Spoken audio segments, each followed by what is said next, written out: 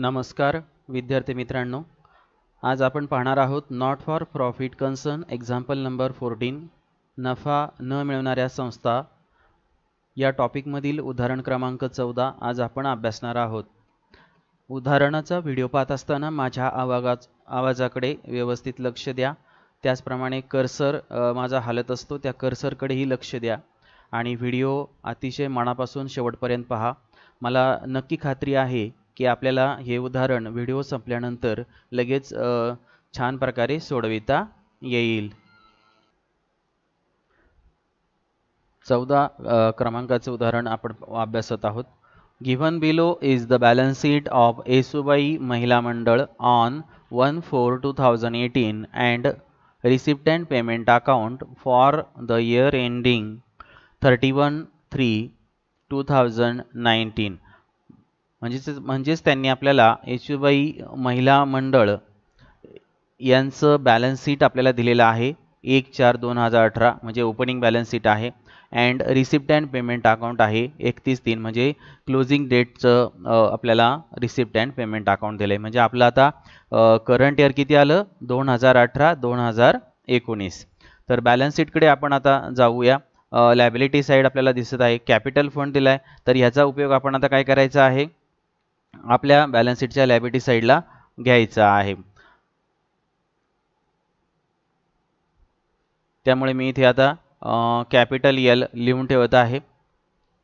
प्रत्येक ॲडम आपला कुठे जातो याची ही नोंद आपल्याला या ठिकाणी आता करायची आहे. आणि पुढे पुढे जायचं आहे. तर आउटस्टँडिंग एक्सपेन्सेस आउटस्टँडिंग एक्सपेन्सेस आपण हे मागील वर्षाचे आता आहेत. आणि मागील वर्षाचे असल्यामुळे आपल्याला हे खर्च मागील वर्षीचे देणे बाकी आहे. तर हे आपण आता चालू वर्षीच्या पेमेंट साईडला बघायचं आहे की हे सर्व खर्च दिलेले आहेत की नाही. जर समजा पूर्ण रक्कम पेड केलेली असेल तर त्याचा इफेक्ट होणार नाही. परंतु जर समजा सॅलरी आठ हजार रुपये आहे आणि त्याच्या आठ हजारातली काही रक्कम दिली असेल तर मात्र आपल्याला ही ॲडजस्टमेंट होऊ शकते आणि या ॲडजस्टमेंटला आपण हिडन ॲडजस्टमेंट असं म्हणतो. तर आपण आता सॅलरी रेंट स्टेशनरी हे रिसिप्ट अँड पेमेंटकडे गेल्यानंतर आपल्याला समजेल की याच्यावर हिड हिडन ॲडजस्टमेंट आहे की नाही परंतु असू मात्र शकते. चला आता असेट साईडला येऊया. Cash in hand cash at bank हे ओपनिंग बॅलन्सेस आहेत. हे चालू वर्षाच्या आपल्या इन्कम एक्सपेंडिचर आणि बॅलन्स शीटला येणार नाहीत.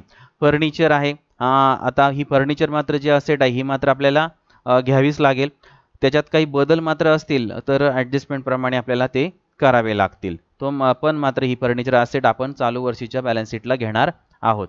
त्यानंतर दिलेले खाली आउटस्टँडिंग सबस्क्रिप्शन म्हणजे आपल्याला आठ हजार रुपये पाचशे आठ हजार पाचशे रुपये येणं बाकी आहे. तर मग आपण आता रिसिप्ट पेमेंटला हे आठ हजार पाचशे रुपये जर आपल्याला आले असतील तर याचा दुसरा इफेक्ट होणार नाही. परंतु जर यापैकी काही रक्कम आली असेल आणि काही बाकी राहिली असेल तर याचा पुन्हा परत चालू वर्षीच्या बॅलन्स शीटच्या असेट साईडला इफेक्ट होईल आणि ही एक हिडन ॲडजस्टमेंट होऊ शकते. तर आपण आता जेव्हा आपण रिसिप्ट साईडला जाऊ तेव्हा आपण याचा बघूया की याच्यावर हिडन ॲडजस्टमेंट आहे की नाही. परंतु आउटस्टँडिंग एक्सपेन्सेस आणि आउटस्टँडिंग सबस्क्रिप्शन्स किंवा इन्कम्स जेवढे असतील ते त्याच्यावरती जर आपल्याला मागील वर्षाचं पेंडिंग असेल काही तर हे रिसिप्ट अँड पेमेंट अकाउंटला आपल्याला काय होते? समजते आणि ती एक हिडन ॲडजस्टमेंट असते. आपल्याला काही कोणी सांगत नाही. हे आपणच आपल्या आपला अभ्यासाने काय करायचं आहे लक्षात ठेवायचं आहे त्यानंतरचं पहा खाली दिलेलं आहे सिक्स पर्सेंट इन्व्हेस्टमेंट आता सिक्स पर्सेंट इन्व्हेस्टमेंट म्हणजे ही सुद्धा एक हिडन ॲडजस्टमेंटच आहे. शंभर टक्के हिडन ॲडजस्टमेंट आहे. त्याच्यामुळे इथे मी आता यच लिहून ठेवत आहे. कारण सिक्स पर्सेंट ही इन्व्हेस्टमेंट का हिडन का तर सहा टक्के दराने आपण गुंतवणूक केलेली आहे. त्याच्यावर आपल्याला नक्की काय मिळणार आहे? इंटरेस्ट मिळणार आहे. किंवा डिव्हिडंड मिळणार आहे. काहीतरी उत्पन्न मिळणार आहे. तर ते आपल्याला काय करावं लागेल? सोडवावे लागेल.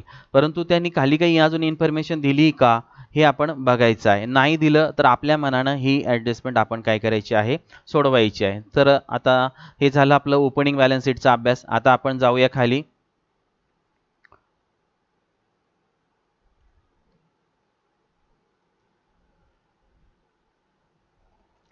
बघा आता रिसिप्ट अँड पेमेंट अकाउंट दिले आपल्याला for the year ended thirty first March two thousand nineteen receipt side to balance brought down cash in hand cash at bank हे आहेत ओपनिंग बॅलन्सेस हे आपण आता मागील वर्षाचे असल्यामुळं आपण हे घेणे गरजेचे नसते किंवा आपण घेत नाहीत. नंतर आहे एंट्रान्स फीज तर हा जो एंट्रान्स फीज आयटम आहे आपण आता कुठे लिहितो? तर इन्कम साईडला आणि इन्कम साईडला लिहित असतो आपण. तर त्या ठिकाणी आपण आता काय करणार आहोत? इथे आय मी लिहून ठेवलेला आहे की हा ॲट आपला कुठे लिहायचा आहे? इन्कम साईडला आले लक्षात सर्वांच्या? तर आपल्याला अशा प्रकारे नोंदी करत जायचे आहेत. त्यानंतर आता जर याच्यावर मात्र एंट्रन्स फीजवर काही ॲडजस्टमेंट असेल तर त्याप्रमाणे त्याचे इफेक्ट होतील. मग तो आपल्याला माहीत आहे की इन्कम किंवा लॅबिलिटी साईडला सुद्धा जाऊ शकतो. तर आपण आता निश्चित केला आहे पहिल्यांदा इन्कम साईडला त्यानंतर सबस्क्रिप्शन दिलेलं आहे. हा सुद्धा आता जो सबस्क्रिप्शन जे आहे ते सुद्धा आपण कुठे लिहित असतो? इन्कमलाच लिहित असतो. बरोबर? त्याच्यानंतर खाली दिलेलं आहे दोन हजार सतरा अठराचं सबस्क्रिप्शन दोन हजार रुपये. मी तुम्हाला म्हटलं होतं की आउटस्टँडिंग सबस्क्रिप्शन आपल्याला दिलेलं आहे कुठे? बॅलन्स शीटमध्ये हे बघा आउटस्टँडिंग माझ्या कर्सरकडे लक्ष ठेवा. तर आठ कर्सर दिसत असेल तर लक्ष ठेवा. आठ हजार पाचशे रुपये मागील वर्षाचं येणं बाकी आहे. आणि ॲक्च्युली आपल्याला किती रुपये मिळालेले आहेत? दोन हजार सतरा अठराचे दोन हजार रुपये. याचा अर्थ या ठिकाणी आठ हजार पाचशे मिळावायचे होते. परंतु दोनच हजार रुपये मिळालेत. याचा अर्थ अजूनही मागील वर्षाचे सहा हजार पाचशे रुपये बाकी आहेत. मी तुम्हाला त्याची नोट दाखवतो. बघा. हे बघा. Calculation of subscription two thousand seventeen eighteen outstanding subscription in balance sheet rupees eight thousand five hundred आत्ताच आपण मी तुम्हाला सांगितलं तेच इथं नोटमध्ये मांडलं आहे आउटस्टँडिंग मग subscription received in receipt and payment account किती मिळाले तिथं आपल्याला? दोन हजार रुपये. बरोबर? आणि बॅलन्स शीटमध्ये आपल्या ओपनिंग बॅलन्स शीटमध्ये दिलेले आठ हजार पाचशे रुपये. मग आता outstanding subscription two for two thousand seventeen eighteen is equal to rupees eight thousand five hundred minus two thousand is equal to rupees six thousand five hundred म्हणजे आठ हजार पाचशे वजा आपल्याला मिळा मिळालेलं दोन हजार शिल्लक राहिले सहा हजार. हे झालं चालू वर्ष चालू वर्षी दोन हजार मिळाल्यामुळं मागील वर्षाचं आउटस्टँडिंग सबस्क्रिप्शन राहिलं फक्त सहा हजार पाचशे. आणि याचा इफेक्ट एकच इफेक्ट होणार. Only one effect only one effect कुठं द्यायचा आहे? बॅलन्स शीटच्या आसेट साईडला ठीक आहे? अशा प्रकारे ही ॲडजस्टमेंट सोडवायची आहे. चला तर आपण जाऊया परत पुन्हा उदाहरणाकडे. पुढं दिलेलं आहे आपल्याला याचा इफेक्ट आता कुठं होणार आपल्याला समजलं तर मला आत्ता मी सांगितलं आसेट साईडला बघा मी आता आसेट लिहून ठेवलेला आहे. त्याच्यानंतर दोन हजार अठरा एकोणीसचं आपल्याला पण हे सबस्क्रिप्शन दिलेलं आहे. तर हे आपण कुठं लिहिणार? इन्कम साईडला कुठं लिहिणार? इन्कमला त्याच्यानंतर आता त्याच्यावर काही मात्र ॲडजस्टमेंट असेल तर त्याप्रमाणे त्याचे इफेक्ट होतील. नसेल तर काहीही होणार नाही. ॲडजस्टमेंट नसेल तर आपण डायरेक्ट आउटरला फिगर घेणार. त्याच्यानंतर आहे आता दोन हजार एकोणीस वीस तीन हजार रुपये सबस्क्रिप्शन दिलेलं आहे. तर हे नेक्स्ट इयरचं आहे पुढील वर्षाचं आहे. आणि मग हे आपण कुठं लिहितो? याचा याचा सुद्धा एकच इफेक्ट होतो. आणि तो म्हणजे बॅलन्स शीटच्या लायब्रिटी साईडला आणि आपण म्हणतो की काय? सबस्क्रिप्शन रिसिव्ड इन ॲडव्हान्स किंवा प्री रिसिव्ड सबस्क्रिप्शन तर अशा प्रकारे हे आपण बॅलन्स शीटच्या लायब्रिटी साईडला लिहिणार आहोत. म्हणून मी इथे बी एस एल असं लिहित आहे. किंवा फक्त लॅबिलिटी असं लिहिलं तरी चालेल. ठीक आहे? तर अशा प्रकारे आता सबस्क्रिप्शनबद्दल मी तुम्हाला माहिती दिली. नंतर आहे मिसलेनियस रिसिप्ट तर आपल्याला उत्पन्न मिळालेलं आहे. तर इन्कम साईडला हा आयटम जाईल. त्यानंतर आपण आता आलो आहोत रेंट पेमेंट साईड आलो आलो आहोत. आता खर्च सर्व सुरू झालेले आहेत. आता हे खर्चाचे आयटम सर्व कुठे जातात? एक्सपेंडिचर किंवा असेट साईडला म्हणजे इन्क रिसिप्टचे कुठं जातात? इन्कम किंवा लॅबिलिटी साईडला तर रेंट आहे. आता रेंट किती दिलेलं आहे? पेड केलं आहे पंचवीस हजार रुपये. आता मी तुम्हाला म्हटलं होतं जर आपल्याला ओपनिंग बॅलन्स शीट आपण पाहिलं इथे आउटस्टँडिंग एक्सपेन्सेस आहे तीन तर हे जर आपल्याला दिलेले असतील पूर्ण तर त्याचा दुसरा इफेक्ट होणार नाही. पण जर देणं बाकी असेल तर आपल्याला त्याचा काहीतरी इफेक्ट द्यावाच लागेल. तर ही एक प्रकारची आपल्याला हिडन ॲडजस्टमेंट आहे. काय झालं आता? लक्षात आलेलं आहे. तर रेंटला मग आता आपण काय करूया? हिडन ॲडजस्टमेंटमुळं इथे मी यच लिहित आहे. त्याचप्रमाणे मग आता हा रेंट आयटम आपण कुठे लिहितो? एक्सपेंडिचरला बरोबर? आणि म्हणून मी इथे एक्सपेंडिचर लिहित आहे आणि त्याचबरोबर त्याच्यावरती हिडन ॲडजस्टमेंटसुद्धा आहे. बरोबर? आणि म्हणून मी त्या ठिकाणी यश लिहिलेलं आहे. मग आता ही हिडन ॲडजस्टमेंट काय करायचं? रेंट आहे सात हजार रुपये. मग आपण एक्सपेंडिचरला जाणार पंचवीस हजार वजा सात हजार रुपये. आणि वजाबाकी करून नेक्स्ट इफेक्ट देणार. त्यानंतर दिलेला आहे स्टेशनरी आता स्टेशनरी हा सुद्धा काय आहे? खर्चच आहे. तर याच्यावर सुद्धा म्हणजे आपल्याला ओपनिंग बॅलन्स शीटमध्ये दिलेलं होतं की स्टेशनरी एक हजार रुपये. म्हणजे मागील वर्षाचं देणं बाकी होतं स्टेशनरीचं एक हजार रुपये. तर ही सुद्धा एक हिडन ॲडजस्टमेंट आहे. त्यामुळे हा आयटम आपण जातो एक्सपेंडिचरला आणि म्हणून मी इथे ई लिहित आहे. हिडन ॲडजस्टमेंट आहे म्हणून मी यच लिहित आहे. त्याचप्रमाणे अजून काही त्याच्यावर ॲडजस्टमेंट असेल तर ती आपल्याला खाली ॲड ॲडिशनल इन्फॉर्मेशनमध्ये दिलेली असेल तर ती आपण आपल्या तीसुद्धा असेल तर आपल्याला घ्यावी लागेल. त्यानंतर आता दिलेलं आहे सॅलरीज तर सॅलरीच्या बाबतीत जर पाहायला गेलं तर सॅलरीचा सुद्धा मागच्या वर्षीचा आउटस्टँडिंग बॅलन्स आहे आठ हजार रुपये. म्हणजे ही सुद्धा काय आहे? हिडनच ॲडजस्टमेंट आहे. आणि म्हणून आपण या ठिकाणी काय करायचं आहे? हिडनचं एच या ठिकाणी लिहून ठेवायचं आहे की आपल्या लक्षात आलं पाहिजे की कुठे कुठे हिडन ॲडजस्टमेंट आहेत. मग आता सॅलरीज हा आयटम आपला जातो एक्सपेंडिचरला आणि त्याच्यावर सुद्धा काय आहे? हिडन ॲडजस्टमेंट आहे. आणि म्हणून मी त्या ठिकाणी एच लिहून ठेवलेला आहे. त्यानंतर आहे फर्निचर रिपेअर्स तर हा आपला काय आहे? खर्च आहे. हा आपला खर्च असल्यामुळे तो आयटम कुठं जाईल? एक्सपेंडिचरला त्यानंतर आहे ऑनरॅरियम तर हा सुद्धा आपला काय आहे? खर्चच आहे. त्यामुळे आपण हा सुद्धा आयटम आपण कुठं लिहिणार? एक्सपेंडिचरला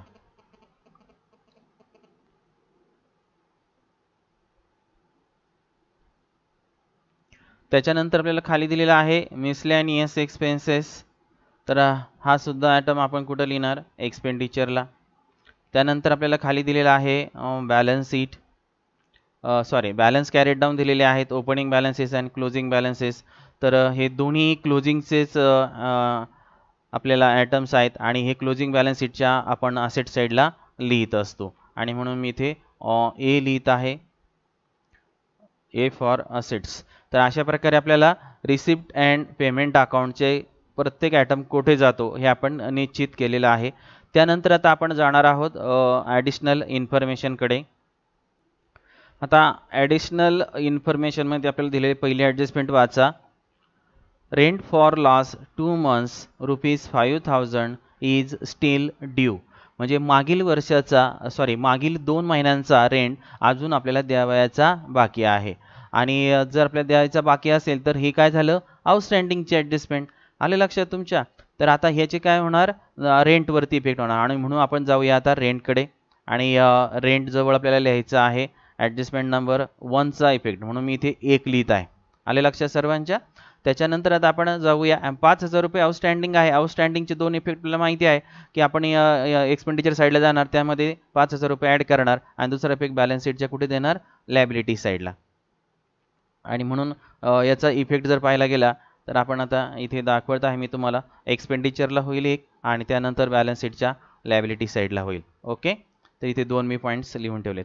त्यानंतर आहे stationery expenses payable on thirty first March two thousand nineteen were rupees four hundred fifty म्हणजे एकतीस मार्च दोन हजार एकोणीसपर्यंत आपल्याला स्टेशनरीचा खर्च द्यायचा बाकी राहिलेला आहे चारशे पन्नास रुपये. तर हा सुद्धा आउटस्टँडिंग एक्सपेन्सेस झाला आणि ही झाली स्टेशनरीवरची दोन नंबरची ॲडजस्टमेंट आणि म्हणून स्टेशनरीकडे जायचं आहे आणि तिथे आपल्याला लिहायचं आहे दोन नंबर.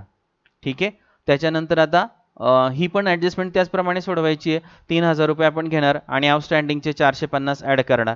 म्हणजेच एक्सपेंडिचर साईडला आपण जाणार. त्याच्यानंतर मग त्याचा दुसरा इफेक्ट देण्यासाठी आपण कुठे जाणार? बॅलन्स शीटच्या लायबिलिटी साईडला तर अशा प्रकारेचे जे दोन जे ॲडजस्टमेंट आहेत ते सेमच इफेक्ट होतील त्या ठिकाणी. त्याच्यानंतर तिसरी पहा. Outstanding subscription for two thousand eighteen nineteen was rupees three thousand म्हणजे दोन हजार अठरा एकोणीस हे आपलं कोणतं वर्ष आहे? करंट इयर आहे. आणि करंट इयरची ही तीन हजार रुपये सबस्क्रिप्शन आपल्याला आउटस्टँडिंग आहे. म्हणजे आपल्याला मिळावयाचं बाकी आहे. तर ही ॲडजस्टमेंट कशावरती आहे? करंट इयरच्या सबस्क्रिप्शन बघा करंट इयर सबस्क्रिप्शन दिसते दोन हजार अठरा एकोणीसला. पंचेचाळीस हजार रुपये. तर इथे आता मी जात आहे आणि त्याच्यावर ही आपल्याला तीन नंबरची ॲडजस्टमेंट आपल्याला या ठिकाणी दिलेली आहे. आले लक्षात सर्वांच्या? तर ही तीन नंबरची ॲडजस्टमेंट आपल्याला काय करावी लागेल? सोडवावी लागेल.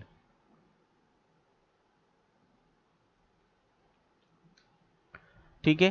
तर सबस्क्रिप्शनची तीन हजार रुपये असेल तर आपण काय करणार? त्याचा फर्स्ट इफेक्ट काय करणार? इन्कम साईडला जाणार. त्याच्यामध्ये तीन हजार रुपये ॲड करणार. पंचेचाळीस अधिक तीन हजार आउटरला आले अठ्ठेचाळीस हजार रुपये. आणि तीन हजार रुपयाचा दुसरा इफेक्ट द्यायला कुठं जाणार? बॅलन्स शीटच्या आसेट साईडला राहील लक्षात? ठीक आहे. तर अशा प्रकारे ही तीन नंबरची ॲडजस्टमेंट आपण सोडवणार आहोत. त्यानंतर entrance fees should be capitalise बघा चार नंबरची ॲडजस्टमेंट आहे एंट्रान्स फीजवर बघा हे इथं आपण एंट्रान्स फीज लिहिलेला आहे. आणि इथे द्या चार नंबर मग आता हे एंट्रन्स फीस पूर्णपणे त्यांनी काय सांगितलं? कॅपिटलाइज करा. लक्ष द्यायचं व्यवस्थित वाक्य पहा. Entrance fees should be capitalise म्हणजे किती करा काय करा असं नाही. डायरेक्ट संपूर्ण अमाऊंट या ठिकाणी आपल्याला घ्यावी लागणार आहे. म्हणजे आता इन्कम साईडला काहीही येणार नाही. आणि म्हणून आपण हे संपूर्ण कुठे लिहायला जाणार आहोत? बॅलन्स शीटच्या लायब्रिटी साईडला कारण आपण तिथे जाऊन काय करणार? कॅपिटलाइज करायचे आहे. म्हणजे बॅलन्स शीटच्या लायब्रिटी साईडला लिहिणार capital fund add entrance fees अठ्ठावीस हजार रुपये. पूर्ण रक्कम जाणार. म्हणजे आता हा आयटम आपला निश्चित झाला की ह्या इन्कमला जाणार नाही. हां त्यानंतर आपल्याला पुढे दिलेलं आहे depreciate furniture at ten percent per annum तर डेप्रिसिएशनची ॲडजस्टमेंट आपण फर्निचरची आता बघायचं आहे तर बघा पेमेंट साईडला काय दिसतंय का? तर इथं फर्निचर रिपेअर दिसतंय. तर हे फर्निचर रिपेअर आहे हा एक्सपेन्सेस आहे याच्यावर काही इफेक्ट होणार नाही. आपली आसेट कुठे पाहायला जायचं आहे तर ओपनिंग बॅलन्स शीटला तर दिसते आसेट इथे आपल्याला ह्या ॲडजस्टमेंटचा इफेक्ट होईल. पाच नंबरची आपली ॲडजस्टमेंट आहे. सॉरी पाच नंबरची ॲडजस्टमेंट मग वीस हजारावरती आपल्याला काय करायचं आहे? पाच नंबरच्या ॲडजस्टमेंटप्रमाणे दहा टक्क्यानं डिप्रिसिएशन काढायचं आहे तर त्याची नोट तुम्हाला मी दाखवतोय. चला पटकन. हे बघा. कॅल्क्युलेशन माझा cursor हालतोय calculation of depreciation on furniture rupees twenty thousand at the rate of ten percent per annum. म्हणजे वीस हजार फर्निचर आहे दहा टक्क्यानं आपल्याला डेप्रिसिएशन काढायचं आहे. तर डेप्रिसिएशन बरोबर वीस हजार गुणिले दहा छेद शंभर आपलं डेप्रिसिएशन आले दोन हजार रुपये. तर याचा आता फर्स्ट इफेक्ट माहीत आहे आपल्याला. बॅलन्स शीटच्या असेट साईडला फर्निचरमधून दोन हजार रुपये लेस करा. आणि आउटरला येतील अठरा हजार रुपये आणि दुसरं एबिट देण्यासाठी जायचं आहे बा बॅलन्स शीटच्या सॉरी एक्स इन्कम एक्सपेंडिचर अकाउंटच्या एक्सपेंडिचर साईडला तिथे लिहायचं आहे टू डेप्रिसिएशन ऑन फर्निचर ठीक आहे चला जाऊया आपण आपल्या उदाहरणाकडे.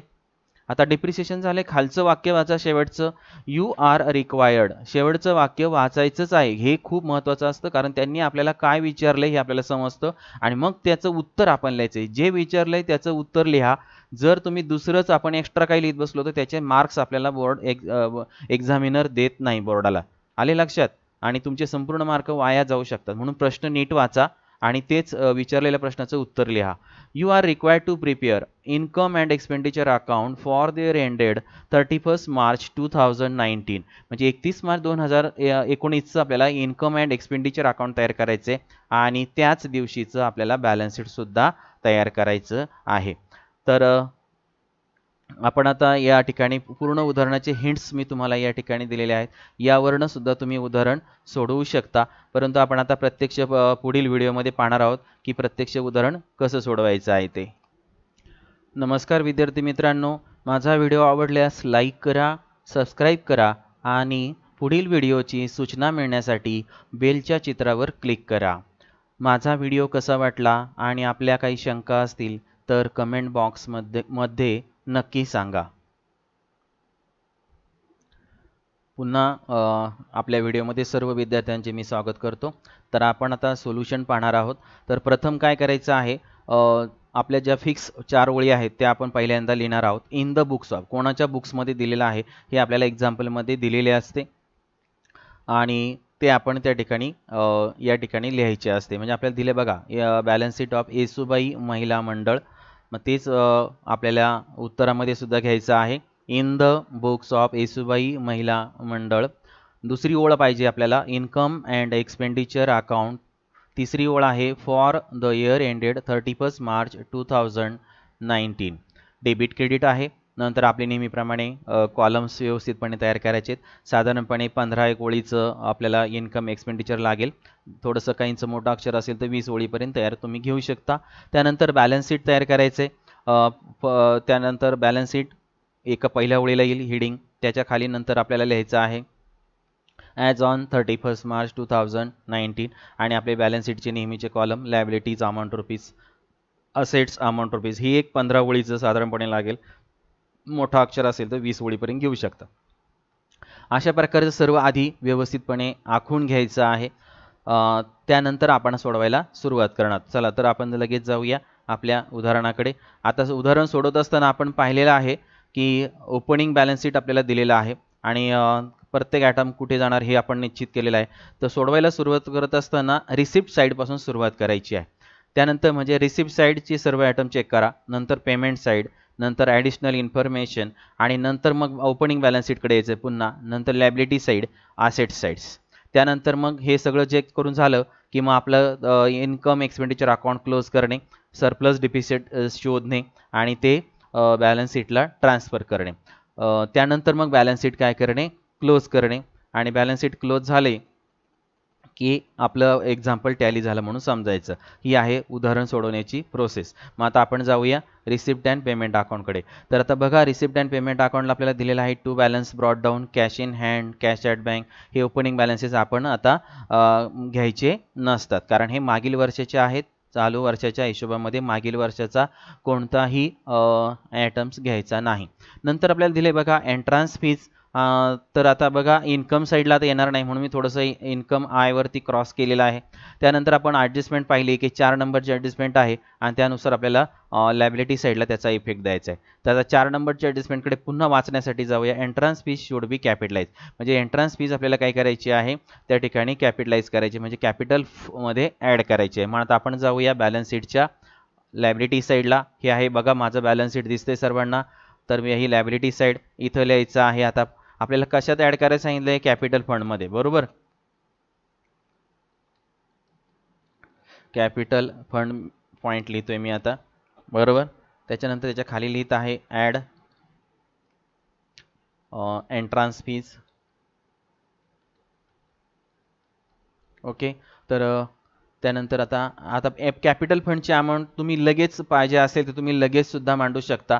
आणि तुम्हाला नंतर घ्यायची असेल तर नंतरसुद्धा मग आता कॅपिटल फंड आपल्याला आता आलेच आहे ओघाणे तर आपण घेऊन टाकूया. जायचंय कुठं? जायचं शोधायला कॅपिटल फंड हे बघा ओपनिंग बॅलन्स शीटमध्ये दिसते कॅपिटल फंड तीस हजार रुपये. मग आता आपण यायचं आहे आपल्या सोल्युशनमध्ये अमाऊंट लिहायची इनरला तीस हजार रुपये.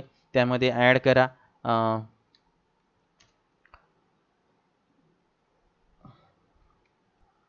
तर अठ्ठावीस हजार रुपये तुम्ही याच्यामध्ये ॲड करा. ठीक आहे?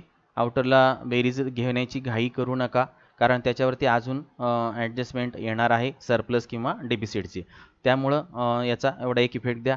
त्यानंतर आपल्याला असं वाटत असेल की अरे हा बापरे हा आयटम जर इन्कमला आला असतं तर काय? तर इन्कमला आपण आता अमाऊंट झिरो असेल तर दाखवण्याची गरज नसते. परंतु तुम्हाला असं वाटत असेल तर मग दाखवलं तर चालेल का? तर आपण दाखवूया काय हरकत नाही. परंतु माझं म्हणणं आहे की दाखवलं नाही तरी चालू शकते. एक लक्षात घ्या.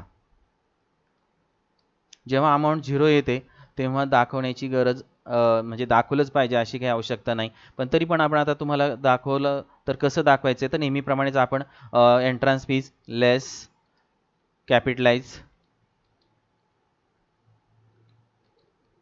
okay मग एंट्रन्स फीज दिलेली आहे आपल्याला अठ्ठावीस हजार रुपये.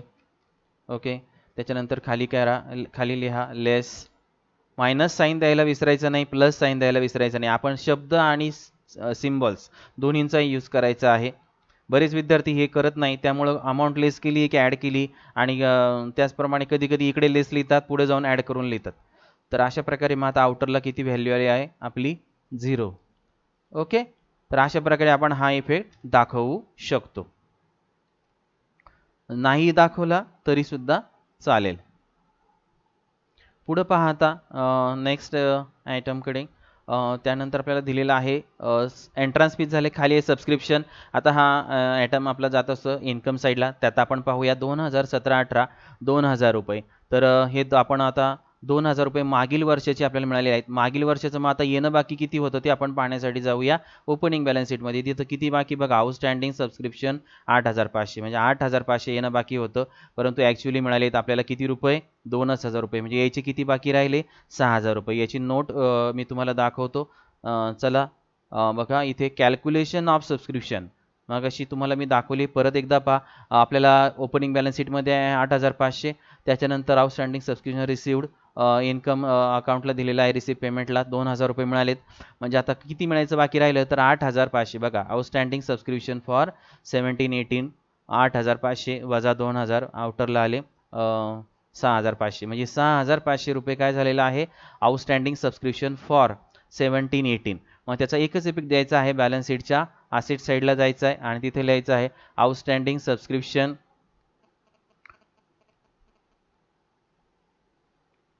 two thousand seventeen eighteen मग बॅलन्स शीटच्या ॲसेट साईडला या.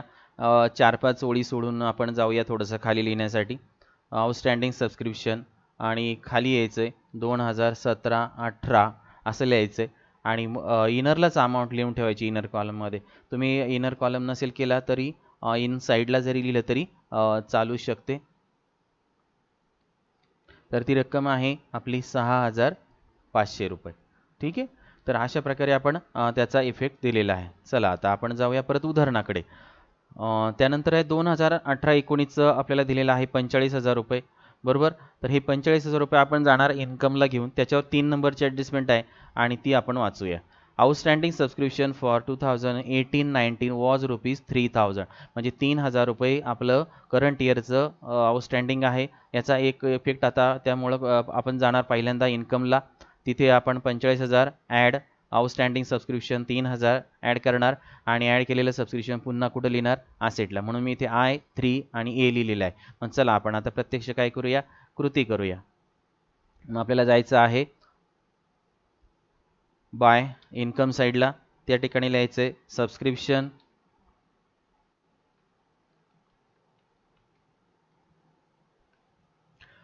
सबस्क्रिप्शन त्याच्या खा नंतर आता खाली खालच्या वेळेला म्हणायचं आहे ॲड आउटस्टँडिंग सबस्क्रिप्शन ठीक आहे आउटस्टँडिंग करंट इयर म्हटलं तरी चालेल किंवा दोन हजार अठरा एकोणीस असं लिहिलं तरी चालेल किंवा करंट इयर लिहिलं तरी चालेल. तर मग आता सबस्क्रिप्शन आपल्याला दिलेलं आहे पंचेचाळीस हजार रुपये. बरोबर? त्याच्यानंतर आपण त्याच्यामध्ये तीन हजार रुपये करंट इयरचे आउटस्टँडिंगचे ॲड करणार. दोघांची बेरीज करणार आणि बेरीज केल्यानंतर काय करणार? आउटरला रक्कम घेणार अठ्ठेचाळीस हजार रुपये. ठीक आहे? तर अशा प्रकारे तीन हजाराचा झाला फर्स्ट इफेक्ट दुसरा इफेक्ट देण्यासाठी आपल्याला जायचं आहे आता आउटस्टँडिंग सबस्क्रिप्शन बॅलन्स शीटच्या असेट साईडला आपण दोन हजार सतरा अठराचं आलेलंच आहे. तर तिथे आता खाली लिहायचं आहे दोन हजार अठरा एकोणीस. बरोबर? आणि दोन हजार अठरा एकोणीसचं आहे सबस्क्रिप्शन तीन हजार रुपये. खाली घ्यायचे ॲड अधिक तीन हजार रुपये करा. आता बेरीज करा आणि त्याची रक्कम आउटरला घेऊन टाका. बघा सहा तीन नऊ हजार पाचशे रुपये. तर अशा प्रकारे दोघांची बेरीज करा. सिम्बॉल द्यायला विसरायचं नाही मी तुम्हाला सांगितलं खूप छान दिसतं आणि करेक्ट आपल्याला अभ्यास करताना चुकवत नाही. ठीक आहे आउटस्टँडिंग सबस्क्रिप्शनचं कळालं तुम्हाला सर्वांना आता? ठीक आहे. आपण जाऊया आता दोन हजार एकोणीस वीस चं तीन हजार रुपये सबस्क्रिप्शन आपल्याला दिलेलं आहे. म्हणजे हे पुढील वर्षाचं आहे. दॅट इज ॲडव्हान्स बरोबर?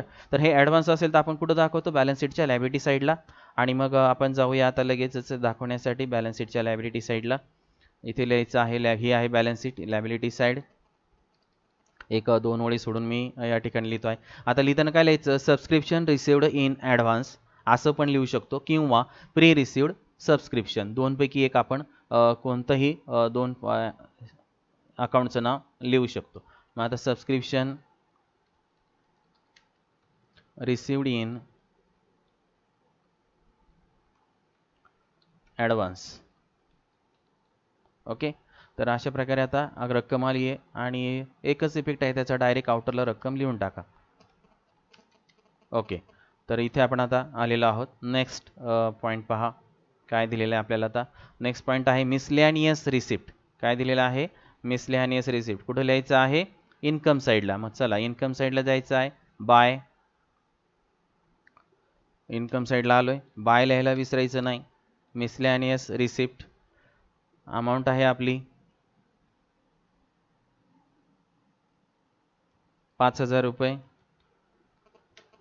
त्यानंतर लगेच नेक्स्ट पॉईंटकडे जाऊया. काय दिलेले आपल्याला पहा. आता हा रिसिप्टचे सर्व आयटम संपलेले आहेत. आता सुरू झालेला आहे पेमेंट साईट रेंट तर रेंटला हा आयटम जाणार एक्सपेंडिचरला त्याच्यावर हिडन ॲडजस्टमेंट एक सोडवायची आहे आणि एक नंबरची एक. तर हिडन काय आहे ते पहा आता. हिडनमध्ये काय सांगितलं आहे मागील वर्षाचं हे आपल्याला खर्च देणं बाकी होतं सात हजार रुपये. तर ती याच्यात आता आपण काय केलेलं आहे? पेड केलेले आहे. पंचवीस हजारातून आपल्याला पहिल्यांदा काय करावं लागेल? ते लेस करावं लागेल. बरोबर? त्याचा एकच इफेक्ट द्यायचा आहे. त्याच्यानंतर त्याच्यावर पुन्हा परत एक नंबरची ॲडजस्टमेंट आहे. मग आता एक नंबरच्या ॲडजस्टमेंटकडे पाहूया आपण. काय आपल्याला दिलं आहे एक नंबरमध्ये rent for last two months rupees five thousand is still due म्हणजे आपल्याला पाच हजार रुपये दोन महिन्याचा रेंट द्यायचा बाकी आहे. तर हा झाला आपला आउटस्टँडिंग आणि म्हणून त्याचा इफेक्ट द्यायचा आहे एक्सपेंडिचर साईडला आणि दुसरा जाईल आउटस्टँडिंगचा इफेक्ट बॅलन्स शीटच्या लॅबिलिटी साईडला मग आता आपण जाऊया इफेक्ट देण्यासाठी. तर बॅलन्स आधी आपण जायचं आहे एक्सपेंडिचर साईडला तिथे लिहायचं आहे टू रेंट त्याच्यानंतर आपण काय करणार आता? मागील वर्षाचा जो आहे तो काय करणार आहोत? लेस करणार आहोत. म्हणून खाली लिहा less outstanding outstanding for two thousand seventeen eighteen बरोबर? मागील वर्षाचा लेस करणार आणि करंट इयरचा काय करणार? ॲड करणार. आणि म्हणून मग खाली मग मी लगेच लिहित आहे. Add outstanding for current year म्हणा किंवा आउटस्टँडिंग फॉर टू मंथ्स कारण दोन महिन्याचं द्यायचं बाकी राहिलं आहे म्हणून मी ते याप्रमाणे लिहित आहे. टू मंथ्स ओके तर आपण आता इनर कॉलममध्ये रक्कम लिहायची आहे. रेंट आहे आपला पंचवीस हजार रुपये दिलेला. त्याच्यानंतर खाली एंटर मारून घ्या. मागील वर्षाचा सात हजार रुपये त्याच्यामधला वजा करा. बरोबर? वजाबाकी करून खाली उत्तर लिहा. पंचवीसमधून पा सात हजार गेले खाली राहिले अठरा हजार रुपये. अठरा हजारामध्ये मागील वर्षाचा दोन महिन्याचा ॲड करावा लागेल आउटस्टँडिंगचा म्हणून खाली जायचे ॲड पाच हजार रुपये. आणि मग आता काय करा? बेरीज करून आउटरला घ्या. अठरा अधिक पाच हजार बरोबर तेवीस हजार रुपये. तर अशा प्रकारे सात हजाराचा एकच इफेक्ट होईल. दुसरा होणार नाही एकच इफेक्ट होईल त्याचा. आणि आउटस्टँडिंगचा मात्र दोन इफेक्ट होतील. इथे आता पाच हजार रुपये आपण काय केलेले आहेत? ॲड केलेत. आता आता दुसरा इफेक्ट देण्यासाठी जायचं आहे आपल्याला बॅलन्स शीटच्या लॅबिलिटी साईडला आणि त्या ठिकाणी लिहायचं आहे आउटस्टँडिंग एक्सपेन्सेस कारण आता आउटस्टँडिंग एक्सपेन्सेस दोन आहेत. म्हणून आपण एकत्र या ठिकाणी घेऊ शकतो. आणि म्हणून लिहा आता आउटस्टँडिंग एक्सपेन्सेस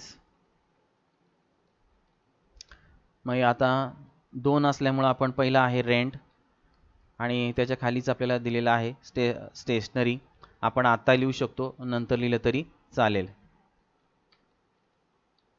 ठीक आहे? मग आता आउटस्टँडिंग एक्सपेन्सेस रेंट किती आलेला आहे आपला?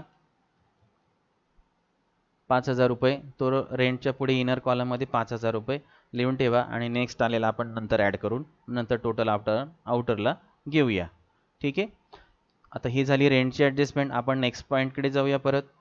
आता बघा रेंटवरती आपल्याला हिडन ॲडजस्टमेंट होती ती पण आपण सोडवली.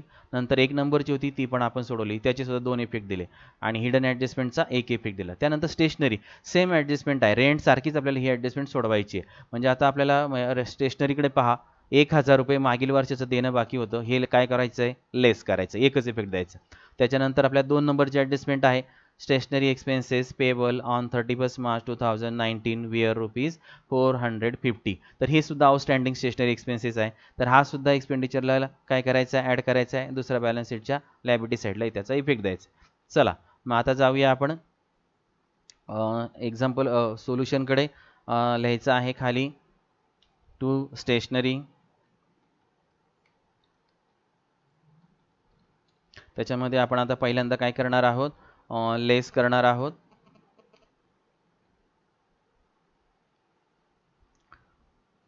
त्याच्यावर परत आपली दो दोन नंबरची ॲडजस्टमेंट आहे आणि त्याच्यामध्ये दिलेलं आहे की outstanding for current year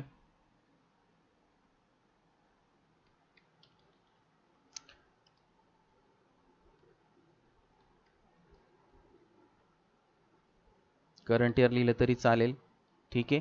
तर आता आपण आता जाणार आहोत स्टेशनरीची अमाऊंट घ्या आता खाली. इनरला रक्कम आहे आपली स्टेशनरीची तीन हजार रुपये. त्याच्यानंतर आपण ते एक हजार रुपये काय करणार? मागील वर्षाचे पेमेंट केलेले ते वजा करणार. त्यातून वजाबाकी करून आता खाली आपण लिहिणार दोन हजार रुपये. बरोबर? त्याच्यातून आता आपल्याला ॲड करायचं आहे आउटस्टँडिंग चारशे पन्नास रुपये. तर अशा प्रकारे ॲड करून आता म्हणजे तीन हजारून एक हजार गेले खेळायला दोन हजार. दोन हजारातून चारशे पन्नास ॲड करा.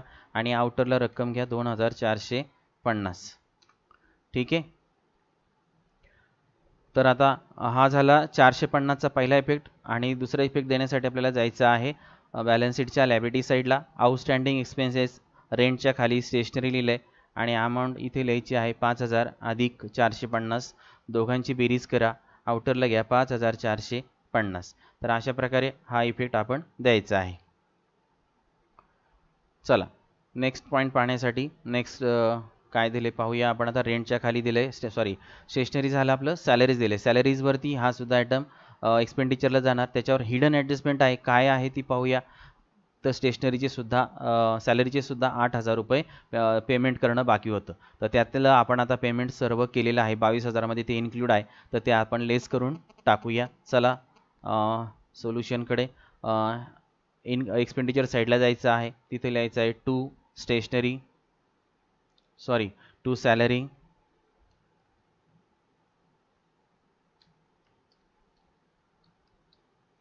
त्याच्यातनं खाली घ्या आता. मागील वर्षाची सॅलरी होती आठ हजार रुपये पेड केली. ती याच्यामध्ये समाविष्ट आहे. ती आपण आता लेस करून टाकूया. मग खाली घ्या less outstanding for two thousand seventeen eighteen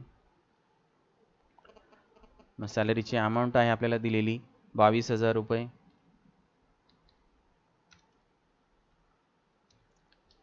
लेस करा. आठ हजार रुपये. आउटरला येतील आपले. बावीस वजा आठ हजार. खाली राहिले चौदा हजार रुपये. तर अशा प्रकारे हा झाला याचा एकच इफेक्ट आणि या ॲडजस्टमेंटचा एकच इफेक्ट होणार होत असतो. चला नेक्स्ट आयटम पहा काय दिलेला आहे आपल्याला. सॅलरी झालं आहे फर्निचर रिपेअर्स बरोबर? तर फर्निचर रिपेअर्स हा डायरेक्ट एक्सपेंडिचरलाच जाणारा आयटम आहे अठराशे रुपये. चला आपण जाऊया लगेच लिहायला. फर्निचर एक्सपेंडिचर साईडला टू लिहा. एक्सपेंडिचर सॉरी फर्निचर रिपेअर्स आणि अमाऊंट आहे आपली फर्निचर रिपेअरची एक हजार आठशे रुपये. ठीक आहे? त्याच्यानंतर लगेच नेक्स्ट नेक्स्ट आयटम काय दिला आहे पहा. Honorarium honorarium to secretary. हा सुद्धा आपला काय आहे? खर्चच आहे. हा सुद्धा आपण कुठे लिहिणार? एक्सपेंडिचर साईडला ऑनरेरियम टू सेक्रेटरी ऑनरेरियम किती दिले त्यांना? सोळा हजार रुपये. त्याच्यानंतर नेक्स्ट आयटमकडे जाऊया. काय दिलेलं आहे आपल्याला? मिसलॅनियस एक्सपेन्सेस हा सुद्धा आपला खर्चचा आहे.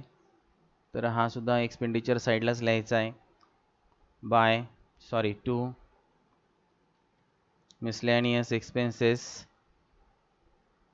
रक्कम आहे त्याची दोन हजार रुपये.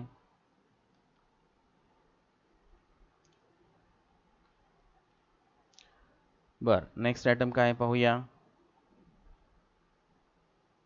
मग बॅलन्स कॅरीड डाऊन दिला आहे कॅश इन हँड आणि कॅश ॲट बँक आठ हजार दोनशे आणि सोळा हजार रुपये. हे दोन्ही आयटम आपण आता कुठे लिहिणार? बॅलन्स शीटच्या आसेट साईडला हे क्लोजिंग बॅलन्सेस आहेत कॅश आणि बँक बॅलन्स तर ते आपल्याला घ्यायचे आहेत. सोल्युशनकडे जायचं आहे बॅलन्स शीटकडे बॅलन्स शीटमध्ये इथे लिहायचं आहे कॅश इन हँड त्याच्या खालीच लगेच मी लिहित आहे cash at bank okay amount लिहा आउटरला लगेच आठ हजार दोनशे खालच्या वेळेला सोळा हजार रुपये. तर अशा प्रकारे दोन्ही बॅलन्सेस आपण आता घेतलेले आहेत. नंतर आपण जायचे परत एक्झाम्पलकडे खाली आता बघा रिसिप्ट संपली आहे पेमेंट संपली. आपण आता त्याच्या रिलेटेड ॲडजस्टमेंटसुद्धा लगेच सोडवलेले आहेत. आता आता तरी पण आपण खाली जाऊया. Additional information rent for last two month he adjustment आपण सोडवली का? तर सोडवली आहे. नसन सोडवली तर सोडवायची आहे. विसरलो असेल तर सोडवायची त्याचे दोन इफेक्ट एक्सपेंडिचर आणि लायबिलिटी दिले का? तर नसतील दिले तर द्यायचे खात्री करून घेण्यासाठी आपण उदाहरणाकडे पेपरमध्ये तुम्ही चेक करू शकता. आपण दिलेत की नाही. त्यानंतर चेक करायचीच आहे. म्हणजे तुमची खात्री होईल राहिला असेल तर आपण पुन्हा देऊन टाकायचं आहे. स्टेशनरीची सुद्धा ॲडजस्टमेंट आपण सोडवलेली आहे. त्याचेही दोन इफेक्ट आपण एक्सपेंडिचर आणि लायबिलिटीला दिले आहेत. खात्री करण्यासाठी तुम्ही चेक करू शकता किंवा चेक करायचं आहे. नंतर आहे आउटस्टँडिंग सबस्क्रिप्शन तीन हजार रुपये. ही पण ॲडजस्टमेंट आपण सोडवली आहे. याचेही आपण दोन इफेक्ट दिलेले आहेत. Entrance fees should be capitalise तर आपण त्याचे दोन्ही इफेक्ट दाखवलेले आहेत. इन्कम साईडला पण झिरो बॅलन्स दाखवले आलेलं. आणि डायरेक्टली कॅपिटलमध्ये फंडमध्ये पण ॲड केलेलं दाखवलेलं आहे. त्यानंतर आपण ते मी तुम्हाला सांगितलं की झिरो जे उत्तर येत असेल तर अशा वेळेस आपण नाही दाखवली तरी चालतंय. त्यानंतर डेप्रिसिएशन दिलं आहे फर्निचरवरचं ही पण ॲडजस्टमेंट आपण सोडवलेली आहे की नाही? तर नाही सोडवलेली. मग आता एकच ॲडजस्टमेंट राहिली तर आपलं डेप्रिशिएशन सोडवायचं आहे फर्निचर आता फर्निचर रिपेअर्स परत आठवण करून देतो हा खर्च आहे. ही काही असेट नाही त्यामुळे याच्यावरती ॲडजस्टमेंट नाही. विद्यार्थी बरेच चुकू शकतात. आणि आपण जाऊया आता मग आपली ॲसेटची व्हॅल्यू कुठे कळेल तर ओपनिंग बॅलन्स शीटमध्ये हे ॲसेट साईडला आलो आहे दिसतंय फर्निचर पाच नंबरची ॲडजस्टमेंट आहे. वीस हजार रुपयेप्रमाणे. मग चला आता तुम्हाला याची नोट पण दाखवतो आणि आपण लगेच त्याचे इफेक्ट देऊया. बघा डेप्रिसिएशन कॅल्क्युलेशन कर्सरकडे लक्ष द्या. Calculation of depreciation on furniture rupees twenty thousand at the rate of ten percent per म्हणजे फर्निचर वीस हजार रुपये आहे त्याच्यावर दहा टक्क्यानं डेप्रिसिएशन काढायचं आहे डेप्रिसिएशन बरोबर वीस हजार गुणिले दहा छेद शंभर बरोबर दोन हजार रुपये. तर आता दोन हजार डेप्रिसिएशन आलेलं आहे त्याचे दोन इफेक्ट देण्यासाठी आपण जाऊया बॅलन्स शीटच्या आसेट साईडला आणि आता पहिल्यांदा लिहायचं आहे आपल्याला फर्निचर त्याच्यात का नंतर म्हण लेस टेन पर्सेंट डेप्रिसिएशन इनरला रक्कम लिहा डेप्रिसिएशन आहे वीस हजार रुपये. लेस करायचं आहे टेन पर्सेंटनी दोन हजार रुपये. नंतर आउटरला अमाऊंट येते आपली वजाबाकी करून अठरा हजार रुपये. ठीक आहे? तर हा झाला दोन हजार रुपयाचा फर्स्ट इफेक्ट दुसरा इफेक्ट देण्यासाठी जायचं आहे एक्सपेंडिचर साईडला to depreciation on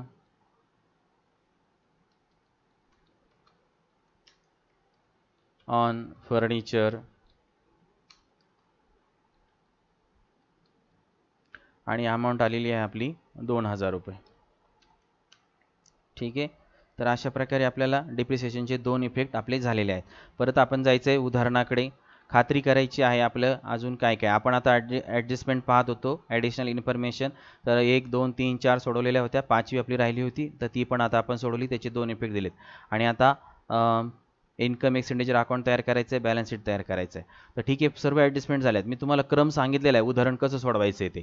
तर आता आपलं बघा रिसिप्ट संपलं आहे पेमेंट संपलं आहे ॲडजस्टमेंट पूर्ण संपलेले आहेत. आता पुन्हा जायचं आहे आपल्याकडल्या ओपनिंग बॅलन्स शीटकडे ओपनिंग बॅलन्स शीटमधून जे आपण काही घेतलेलं नाही आता ज्याच्यावर ॲडजस्टमेंट नाही आली काहीच नाही आलं त्याचा इफेक्ट नाही आला तर असे कोणते आयटम्स आहेत ते आपण आता आपल्या नवीन बॅलन्स शीटला घ्यायचे आहेत. मग आता कॅपिटल फंड बघा इथे आता आपण जर मागाशी ॲडजस्टमेंटच्या वेळेस घेतला नसता तर आत्ता आपण हा नक्कीच घेतला असता. पण आपण आता कॅपिटल फंड आपण आता घेतलेला आहे बघा कॅपिटल फंड बॅलन्स शीटच्या लॅबिटी साईडला जा दिसतंय कॅपिटल फंड तीस हजार रुपये चला.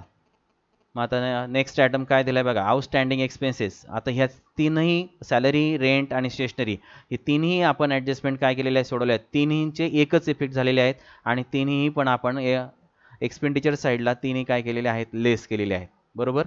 आठवते सर्वांना? ठीक आहे. त्यानंतर आपण जाऊया आसेटकडे cash in hand cash at bank opening balance आहेत. त्याचा आपण काही विचार करायचा नाही कारण ते मागच्या वर्षाचे आहेत. त्यानंतर आहे फर्निचर तर फर्निचरवरची ॲडजस्टमेंट आपण आत्ताच सोडवली आहे. वीस हजार वजा दोन हजार आउटरला आले अठरा हजार आणि दोन हजाराचा इफेक्ट दिला आपण एक्सपेंडिचर साईडला टू डेप्रिसिएशन ऑन फर्निचर दोन हजार रुपये. तर खात्री करण्यासाठी आपण पुन्हा परत उदाहरणाकडे जाऊ शकतो. डेप्रिसिएशनचं आपण सोडवलं का हे बघा फर्निचर वीस हजार less ten percent depreciation two thousand minus केलेत. आउटरला आले एटीन थाउजंड्स सेकंड इफेक्ट देण्यासाठी आपण आलो आहे to depreciation on furniture two thousands okay? त्यानंतर आता आपण परत एक्झाम्पलकडे जायचं आहे आता कॅश इन अँड झालं कॅ फर्निचर झालं. आउटस्टँडिंग सबस्क्रिप्शन आठ हजार पाचशे. तर आउटस्टँडिंग फर्निचर जे आहे आठ हजार पाचशे आपल्याला मिळवायचं होतं. परंतु मिळालं किती होतं आपलं? दोनच हजार रुपये. आपण ते दोन हजार काय केले? लेस केले. आणि आउटरला सहा हजार पाचशे करंट इयरचं आउटस्टँडिंग आपण परत लिहिलं. करंट इयरच्या आसेट साईडला outstanding subscription two thousand seventeen eighteen six thousand five hundred. त्यानंतर आहे six percent investment. Hidden adjustment आहे. ही आपण सोडवली का? नाही. तर ही आपल्याला आता सोडवायची आहे. सहा हजार पाचशे रुपये इन्व्हेस्टमेंट केली होती आपण. त्याच्यावर सहा टक्के दराने आपल्याला इन्कम मिळणार. इंटरेस्ट मिळेल किंवा आपल्याला डिव्हिडंड मिळतील. काय जे असेल ते. तर ती आता सहा टक्क्यानं याच्यावर कॅल्क्युलेशन करायचे. चला आपण आता काय करूया? नोटकडे जाऊया. आणि आलेला इंटरेस्ट त्या ठिकाणी काय करायचं आहे? त्याचे दोन इफेक्ट होतील. तर पहिला इफेक्ट देण्यासाठी त्या ठिकाणी आपल्याला जावं लागेल. कारण इन्व्हेस्टमेंट आहे आणि त्याच्यामुळे ते आपल्याला व्याज मिळणार आहे. आपला इन्कम होणार आहे. त्याच्यामुळे आपण बॅलन्स शीटच्या आसेट साईडला जायचं आहे आणि त्याच्यामध्ये काय करायचं आहे? हा जो इफेक्ट आहे जो इंटरेस्ट येईल तो त्यामध्ये काय करायचा आहे? ॲड करायचा आहे. आणि त्याचा दुसरा इफेक्ट देण्यासाठी परत जायचं आहे इन्कम साईडला आणि म्हणून मी इथे इन्कम आय लिहित आहे कॅपिटल तर अशा प्रकारे आपल्याला तीन ठिकाणी त्याचे इफेक्ट सॉरी हिडन ॲडजस्टमेंट आहे ही. सर्वांनी लक्षात घ्या. आपल्याला कोणी काही सांगत नाही. आपल्या मनाने न याचा सो हे सोल्युशन काढायचं आहे आणि दोन इफेक्ट देण्यासाठी जायचं. चला आपण आता जाऊया. उदाहरणाकडे तुम्हाला नोट दाखवतोय मी आता. हे बघा दोन नंबरची नोट आहे माझी. Calculation of outstanding interest on at six percent investment rupees six thousand five hundred. म्हणजे सहा हजार पाचशे रुपये इन्व्हेस्टमेंटची अमाऊंट आहे. आउटस्टँडिंग इंटरेस्ट बरोबर सहा हजार पाचशे गुणिले सहाशे भागिले शंभर. बरोबर आलं तीनशे नव्वद रुपये. तर ह्या तीनशे नव्वदचे किती इफेक्ट होणार? दोन. पहिला इफेक्ट आहे बघा माझा कर्सरकडे लक्ष ठेवा लक्ष. Effect one income side effect two होईल add in six percent investment asset side आता हेच आपण कृती करूया. आता आपण जायचं आहे बॅलन्स शीटच्या आसेट साईडला इथे लिहायचं आहे सिक्स पर्सेंट इन्व्हेस्टमेंट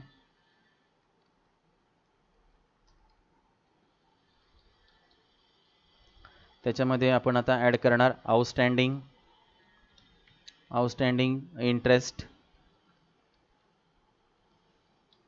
बरोबर?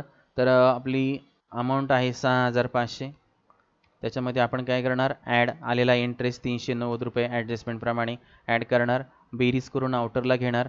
सहा हजार आठशे नव्वद रुपये. तर हा झाला आपला तीनशे नव्वद रुपयाचा फर्स्ट इफेक्ट दुसरा इफेक्ट देण्यासाठी आपल्याला जायचं आहे इन्कम साईडला आणि तिथे लिहायचं आहे by outstanding interest on investment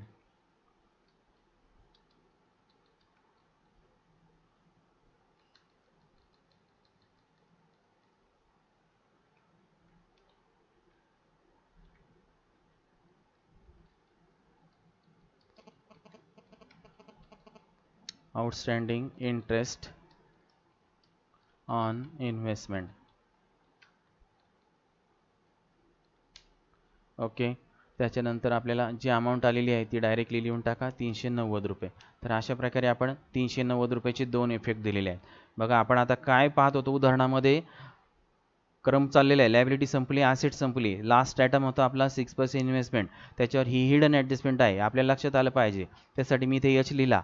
त्याच्याच आता सहा टक्के दरानं आपण त्याच्यावर इंटरेस्ट काढला. तो आपला इन्कम झाला म्हणून आपण काय केला असेट साईडला त्या ह्याच ॲसेटमध्ये ॲड केला आणि दुसरा इफेक्ट आपण कुठं दिला इन्कम साईडला तर आता अशा प्रकारे आपले ॲसेटचे सर्व आयटम्स आपले घेऊन झालेले आहेत. तर आता आपण आता काय करायचं आहे पुढची प्रोसेस काय असते? इन्कम अँड एक्सपेंडिचर अकाउंट काय करणे क्लोज करणे. मग चला आपण जाऊया आता इन्कम अँड एक्सपेंडिचर अकाउंटकडे इन्कम आणि एक्सपेंडिचर अकाउंट क्लोज करणे. मग आता आपण काय करणार आपण? याची अगोदर नोट काढणार छानपैकी. टोटल घ्यायची आहे एक्सपेंडिचर साईडची इन्कम साईडची टोटल घ्यायची. दोघांचा डिफरन्स काढायचा. कोणतीच एक साईड एक एक्स्ट्रा आहे जास्त आहे त्याच्यावरून आपण सरप्लस आलं डिपिसिट आलं हे आपण निश्चित करणार. आणि नंतर त्याचा इफेक्ट देणार. मग आपण जाऊया नोटकडे नोट बघा मी तुम्हाला काढून दाखवलेली आहे. Calculation of surplus or deficit to close income and expenditure account मग आता बघा डेबिट साईड टोटल म्हणजेच एक्सपेंडिचर साईड ती बेरीज आलेली आहे. एकसष्ट हजार दोनशे पन्नास. त्याच्यानंतर खालच्या ओळीला पहा. Credit side total income side त्रेपन्न हजार तीनशे नव्वद. त्याच्यानंतर डिफरन्स आलेला आहे सात हजार आठशे साठ. आता इथे आपण निरीक्षण केलं आपल्याला लक्षात येतं आहे की एक्सपेंडिचर साईड ही जास्त आहे इन्कम साईड ही कमी आहे. मग इन्कम कमी जर झाला असेल आणि जर फरक आला असेल तर आपल्याला तो सरप्लस म्हणायचा की डिपिसिट तर आपण काय म्हणतो त्याला? Deficit okay? तर इथे या उदाहरणामध्ये आपल्याला डेफिसिट आलेला आहे. तर याची नोंद करण्यासाठी आपल्याला आता काय करायचं आहे? क्लोज इन्कम एक्सपेंडिचर क्लोज करणार आणि हे इफेक्ट तिन्ही देणार. मग आता आपल्याला काय करावं लागेल? जी टोटल जास्त आहे ती आपल्याला काय करायची? दोन्ही साईडला द्यायची. आलेला डिफरन्स जो आहे तो बॅलन्सिंग फिगर म्हणून घ्यायचा आणि डिफिसिट म्हणून लिहायचं आहे. मग आता आपण घ्या. टोटल किती आहे? एकसष्ट हजार जास्त आहे. तीच आपण लिहायला काय करूया? एकसष्ट हजार दोनशे पन्नास. दोन्ही साईडला लिहून टाकूया. इन्कम एक्सपेंडिचर अकाउंट एकसष्ट हजार दोनशे पन्नास. दोन्ही साईडला लिहायची आहे. एकसष्ट हजार दोनशे पन्नास. त्याच्यानंतर आता आपल्याला डिफिसिट आलेला आहे. डिफिसिटची अमाऊंट आहे सात हजार आठशे साठ. बघा इथे बाय डिफिसिट रेड कलरमध्ये तुमच्या लक्षात येण्यासाठी लिहिलेलं आहे. सात हजार आठशे साठ. तुम्ही रेड कलर वर्गा उत्तरपत्रिकेमध्ये बोर्डाचे लिहायचं नाही. तुम्हाला फक्त ब्ल्यू पेन अलाउड आहे. ओनली फॉर स्टुडंट्स ब्ल्यू कलरच वापरायचा ब्लॅक पेन अंडरलाईनसाठी फार तर गरज असेल तिथे. ओनली ब्ल्यू प्लेन ठीक आहे सात हजार आठशे साठ. इथं आपल्याला जो बॅलन्सिंग फिगर आली ते आहे आपलं डेपिसिट तर अशा प्रकारे आपण आता इन्कम अँड एक्सपेंडिचर अकाउंट काय केलेलं आहे? क्लोज केलेलं आहे. फुल स्क्रीनवरती तुम्हाला आता या ठिकाणी ते दिसत आहे. तर अशा प्रकारे इन्कम एक्सपेंडिचर अकाउंट क्लोज करा. आता या उदाहरणात डिपिसिट आलेलं आहे. हे डिपिसिट आपण काय करणार? बॅलन्स शीटच्या लॅबिलिटी साईडला जाणार आणि कॅपिटल फंडमध्ये काय करणार? कॅपिटल फंडमधून लेस करणार. चला मग आपण जाऊया आता बॅलन्स शीटकडे आता इथे जायचं आहे बॅलन्स शीटकडे आणि काय करायचं आहे? ॲडिशन जे आहेत इथे आपल्याला ॲडिशन झालेलं आहे एन्ट्रान्स फीज तर लक्षात घ्यायचं कधी पण आपल्याला रक्कम आपल्याकडे आधी मिळून घ्यायची नंतर देणाऱ्यांचं देणं द्यायचं असतं. व्यवहारात जगत असताना सुद्धा पैसे आले तर आपण आधी ॲडिशन करून घ्या आणि नंतर कोणाला द्यायचे आहेत मग आपल्याकडे किती आहे त्याचा विचार करून देऊ शकतो. इथे सुद्धा उदाहरणामध्ये तेच लॉजिक लावायचं आहे. ॲडिशन आधी करून घ्यायची आहे आणि म्हणून तीस हजार अधिक अठ्ठावीस हजार याची बेरी झालेली आहे अठ्ठावन्न हजार रुपये. ठीक आहे? त्याच्यानंतर मग आता आपल्याला काय करायचं आहे लेस करायचं आहे आपलं आलेलं डिपिसिट सात हजार आठशे साठ रुपये. बरोबर? त्याच्यानंतर आता खाली आपण म्हणणार आहोत इकडे लेस डिफिसिट सात हजार आठशे साठ आणि वजाबाकी करून आउटरला रक्कम घ्यायची आहे पन्नास हजार एकशे चाळीस.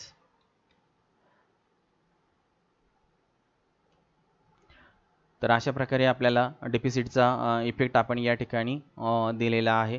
त्यानंतर आता आपल्या पुढची स्टेप आहे बॅलन्स शीट काय करणे? क्लोज करणे. तर आता बॅलन्स शीटची परत आपण नोट मांडण्यापेक्षा बेरीज करावीच लागेल आपल्याला.